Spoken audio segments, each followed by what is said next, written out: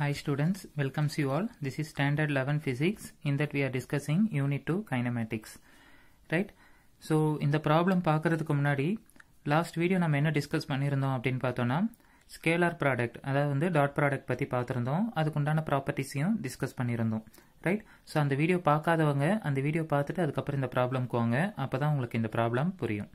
Right so given two vectors ரெண்டு vector கொடுத்துட்டாங்க. One is A vector and another one is B vector first என்ன கேட்டிருக்காங்கன்னா find the product of A vector and B vector A வெக்டாருக்கும் B வெக்டாருக்கும் dot product பண்ணுங்க அப்படின்னு சொல்லியிருக்காங்க. Right so நமக்கு dot product ஏற்கனவே தெரியும். ஐ கேப் இன்டூ ஐ கேப்னா value one அதே டிஃப்ரெண்ட் ப்ராடக்ட் பண்ணும்போது நமக்கு வேல்யூ என்னென்ன ஆகிடும் அப்படின்னு பார்த்தோம்னா ஜீரோன்னு ஆகிடும் ரைட் ஸோ அப்போ நம்ம சேம் ப்ராடக்ட் மட்டும் தான் பண்ணணும்.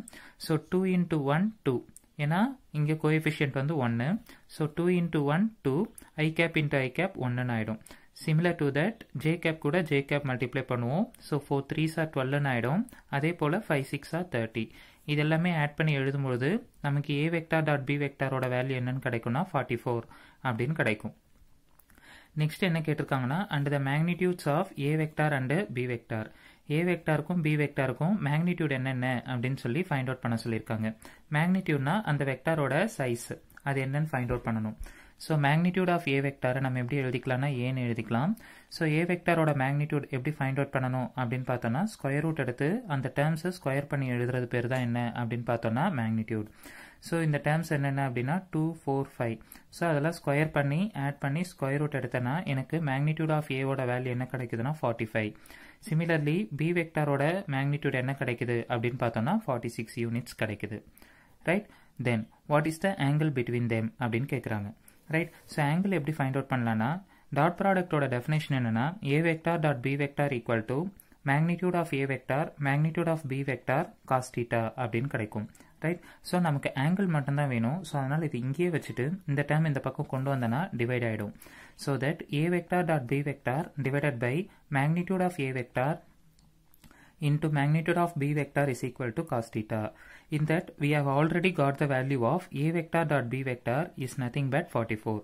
So instead of this I just replaced it as 44 divided by magnitude of a vector value is root 45 and magnitude of b value is root 46.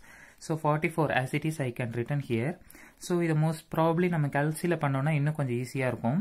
So அதனால் நான் என்ன பண்ணுறேன்னா root forty five into root forty சிக்ஸுக்கு value என்னன்னு பார்க்க போகிறேன் so root forty five into root forty six multiply பண்ணோன்னா எனக்கு கிடைச்ச வேல்யூ என்னன்னா forty five point four nine okay so இதுக்கு பதிலாக நான் வேல்யூ என்னன்னு போட்டேன்னா forty five point four nine அப்படின்னு போட்டுட்டேன்.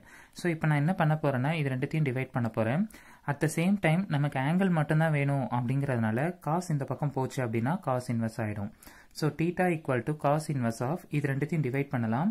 ஸோ டிவைட் பண்ணால் நமக்கு கிடைக்க வேண்டிய ஆன்சர் என்னவாக இருக்கும் அப்படின்னு பார்த்தோம்னா so forty four divided by forty five point four nine so அது டிவைட் பண்ணும்போது எனக்கு கிடைச்ச ஆன்சர் என்னென்னா zero point nine six seven அப்படின்னு கிடச்சிருந்துச்சு.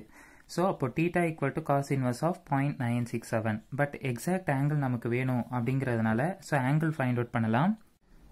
ஸோ அப்போ டீட்டா ஈக்குவல் டு நமக்கு என்ன கிடைக்கும் அப்படின்னு பார்த்தோம்னா நமக்கு என்னன்னா cos inverse of point nine six seven இது கேல்சியில் ட்ரை பண்ணியிருக்கேன் ஃபோர்டீன் பாயிண்ட் செவன் சிக்ஸ் அப்படின்னு வருது. அப்போ ஆங்கிள் நம்ம அப்ராக்சிமேட்டாக எவ்வளோ எடுத்துக்கலாம்னா theta equal to fifteen degree அப்படின்னு எடுத்துக்கலாம் அப்ராக்சிமேட்லி ஓகேவா ஸோ இதுதான் இதோட ஆங்கிளாக இருக்கும். Right thank you